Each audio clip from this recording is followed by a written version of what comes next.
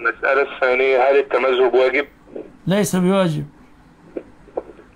تمام شيخ جزاك الله خيرا. وإياكم.